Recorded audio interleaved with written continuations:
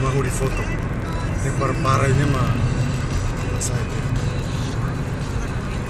nah, aduh malirin ini kayu-kayu sudah jadi es semua. Sudah tertutup es. Ay, beginilah hidup di Eropa ini. Dinginnya bukan main. Waduh.